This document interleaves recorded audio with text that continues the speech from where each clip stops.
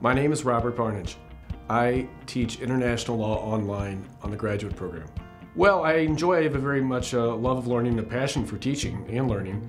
And I think that initially I was skeptical of the pedagogy and the results of online instruction, but I think I'm uh, converted to seeing it as a very legitimate and a very uh, helpful way of, uh, of teaching. So I, I, I, don't see it as a kind of a second class uh, delivery of information. I see it as offering unique advantages uh, that residential teaching doesn't offer.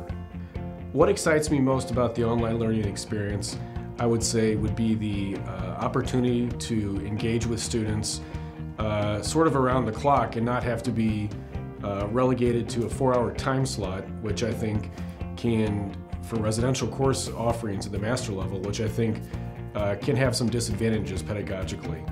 Um, and I think being able to engage with students all around the world uh, 24 hours a day can be uh, very interesting. Is there anything additional regarding online learning that I'd like to share? Uh, I would say just go ahead and do it because it's the wave of the future and you should get on the train now.